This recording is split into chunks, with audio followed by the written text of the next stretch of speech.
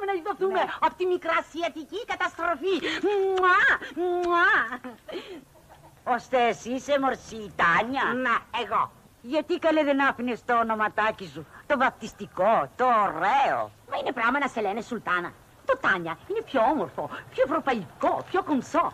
Του λόγου μου ξέρω πως οι καφεσαντανίστρες αλλάζουν τα ονόματά τους. Το είπες πάλι. Και... Τι πρόξενος καλέ ήταν ο πατέρας σου που κάθεσαι και λες; Τα πασαπόρτια μορσή. Ποιος τα έδινε, ποιος ήταν στο προξενείο. Αυτό δα, το ξέρουν και οι πέτρες. Στο προξενείο ήτανε, αλλά πορτιέρης και έβγαζε τα σκουπίδια, όχι πρόξενος. Ήδη καλέ, θα μου έρθει αποπληξία. Σκο... Καλέ, ξέχασες που ερχόμουν βρέφος με την ουνά μου στο καμάμ σας και εσύ ήτριβες τις γυναίκες και τις έβαζες αληφικά και δαφνόλαδο για τα φρύδια. Εγώ ή εσύ. Μιλούν τα γεγονότα.